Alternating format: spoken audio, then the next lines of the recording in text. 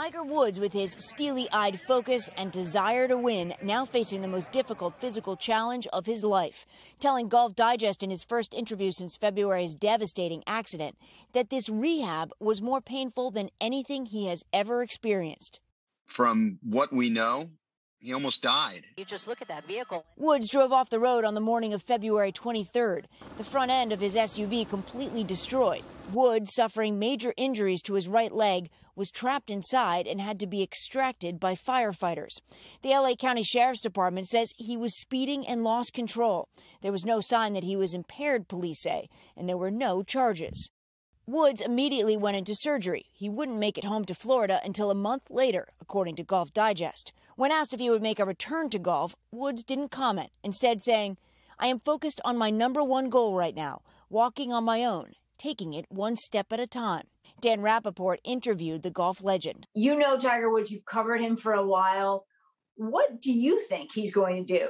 I think it's too early from from their perspective to try to speculate. He, he, said his goal right now is to, to walk, right? So that's that's a long way away from playing golf, which is a long way away from playing competitive golf. Those are two different things. Woods has battled back from injuries before, including five back surgeries. He was still in rehab before the accident. Since the crash, Woods has kept a low profile, a few social media posts, a photo with a young girl battling cancer, and he called Phil Mickelson's historic win at age 50 inspirational. And while the road back would be tough, those who know Tiger say don't count him out. If anybody can kind of work hard enough to get themselves to overcome something like this, you know, he'd be the one. You know, he's as determined an athlete as I've ever covered in all the years I've covered sports.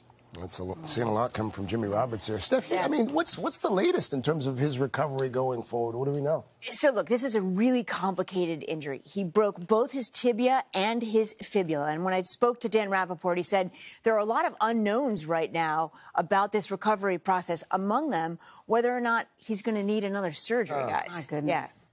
Yeah. All right. He needs to walk it's a long at this road. point. Yeah. Steph Gosk, keep us posted. I will. Enjoy the Thanks. holiday weekend too. Thank you. You too.